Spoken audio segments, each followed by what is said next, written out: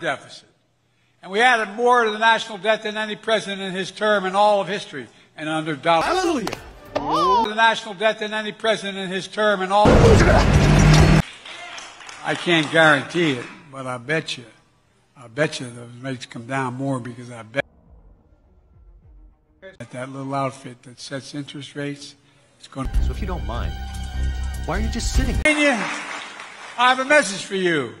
За мной держись. След в след. Я помню. Send me to Congress that I can support this right, and I promise you. What? You know what every one of them says to me, virtually except Orban? I'm serious.